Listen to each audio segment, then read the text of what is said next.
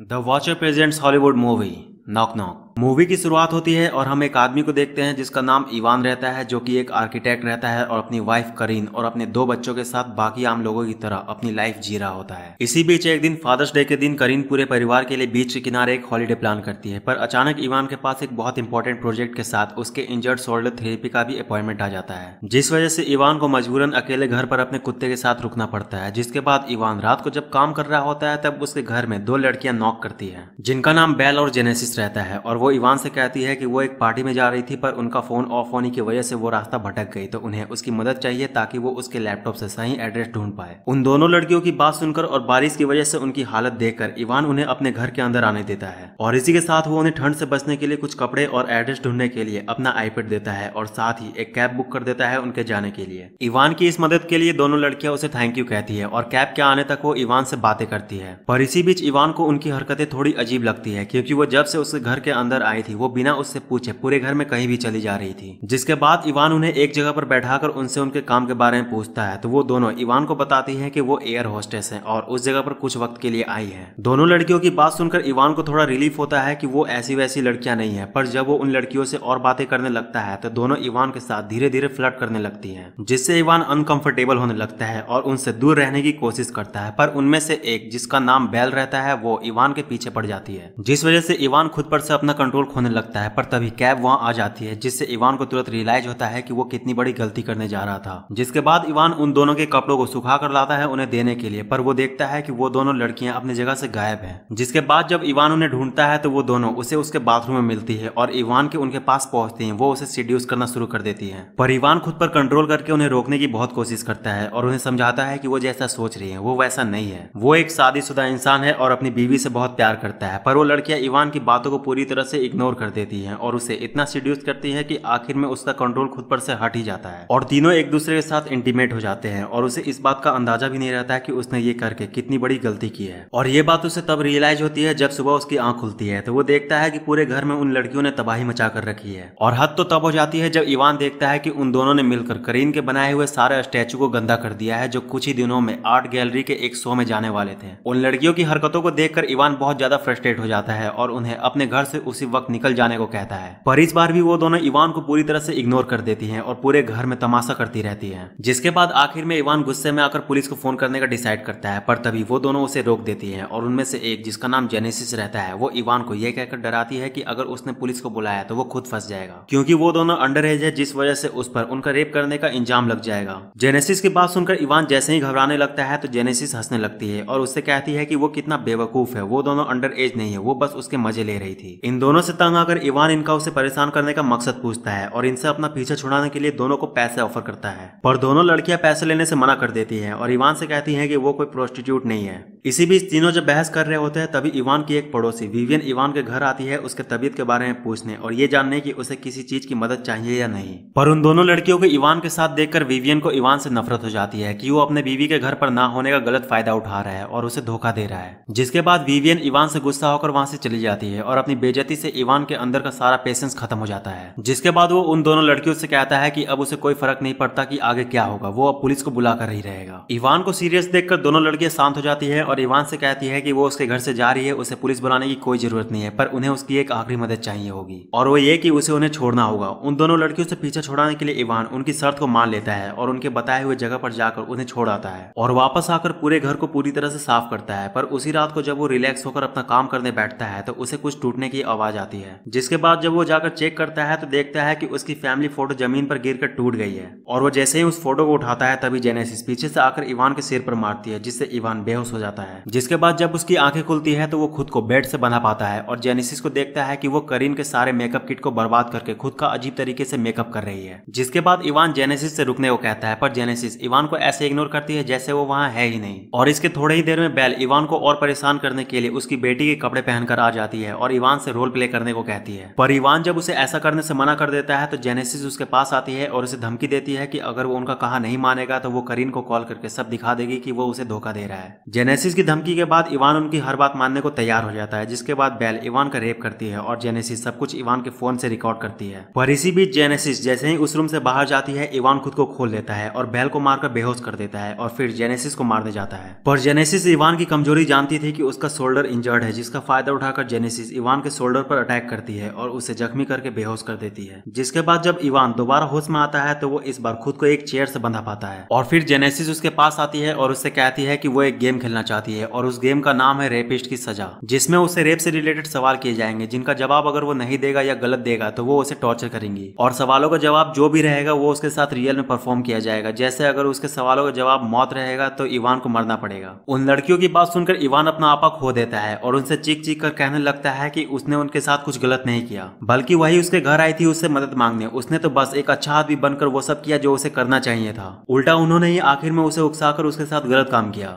Ivan के इतना कहने के बाद भी वो दोनों इवान की बातों को नहीं सुनती और उसे टॉर्चर करती रहती है। पर इसी बीच इवान के घर पर लुइस आ जाता है, जो कि करीन का असिस्टेंट रहता है इवान के घर से करीन के बनाए स्टेचू को ले जाने। जिसके बाद दोनों मिलकर इवान को एक जगह पर छिपा देती है और खुद लुइस से जाकर मिलती है और उससे कहती है कि वो इवान की भांजी है। और इवान फ़िलहाल घर पर नहीं है, वो कहीं बाहर गया हुआ है। उन दोनों लड़कियों की बात सुनकर लुइस को उन पर यकीन हो जाता है। पर जब वो स्टेचूज को लेने घुसता है तो उन स्टेचूज को बर्बाद देखकर वो समझ जाता है की कुछ गड़बड़ है। पर इसी बीच दोनों लड़कियों को पता चल जाता है की को अस्थमे की प्रॉब्लम है जब लुइस घबराकर अपना पंप यूज़ करता है। जिसके बाद जब लुइस इवान को घर में ढूँढने जाता है तो दोनों करीन की सारी स्टेचूज को तोड़ने लगती है, जिसे देखकर लुइस जैसे ही उन्हें रोकने आता है तो वो उसका पंप उससे छीन लेती है। जिसके बाद लुइस का घबराहट की वजह से बैलेंस बिगड़ जाता है और वो एक स्टेचू पर सिर के बल गिर जाता है और उसकी उसी वक्त मौत हो जाती है। लुइस के मरते ही दोनों लड़कियाँ उसे किसी स्टेचू की तरह पैक करके इवान के गार्डन में ही दफना देती है। और इवान के फ़ोन से लुइस को यह मैसेज करती है कि उसे पता चल चुका है कि उसके और करीन के बीच चक्कर चल रहा था तो अब वो अगर उसके सामने आएगा तो उसके लिए अच्छा नहीं होगा। और वो ऐसा मैसेज इसीलिए करती है ताकि सभी को ऐसा लगे कि लुइस के गायब होने के पीछे इवान का हाथ है। और इसके बाद वो इवान को अपने गेम में वापस ले आती है और उससे कहती है कि अब उसे भी मरना होगा। क्योंकि उन्होंने डिसाइड किया है कि उसकी सजा यही है, पर इससे पहले वो एक दूसरा गेम खेलना चाहती है, जिसमें उसे उनसे छिपना होगा। और अगर वो उसे सुबह होने तक नहीं ढूंढ पाए तो वो दोनों उसे छोड़कर चली जाएँगी। और ये कहकर वो इवान को खोल देती है, जिसके बाद इवान वहाँ से भागकर एक जगह पर जाकर छिप जाता है। पर जब उसे रियलाइज़ होता है कि वो ज़्यादा देर तक घर में नहीं छिपा रह सकता तो वो बाहर भागता है। पर जख्मी होने के कारण वो भागते वक्त एक चीज़ से टकराकर गिर जाता है, जिसके बाद दोनों लड़कियाँ उसे वापस पकड़ लेती हैं और उसकी आँखों के सामने एक कब्र खोदकर उसे गर्दन तक दफना देती है। पर जब इवान को लगता है कि वो उसे मारने वाली है, तभी दोनों रुक जाती है और हंसने लगती है। और इवान से कहती है कि वो सही में बहुत भोला है, वो उसे कभी नहीं मारने वाली थी। दरअसल ये सब कुछ उनके गेम का एक हिस्सा था और वो पहला इंसान नहीं है जिसने ये सब भुगता है। वो लोग बहुत वक्त से ऐसे लोगों के घर जाकर ये गेम खेलती आ रही है, जो ये दावा करते हैं कि वो अपनी बीवी बच्चों से बहुत प्यार करते हैं और वो उन्हें कभी धोखा नहीं देंगे। पर आखिर में सभी का अंजाम ऐसा ही रहता है। आखिर में कोई भी उन्हें ना नहीं कह पाता। लेकिन एक पल के लिए उन्हें उससे मिलकर ऐसा लगा था कि वो उन्हें ना कर देगा, वो अपना कंट्रोल खुद पर से नहीं हटने देगा।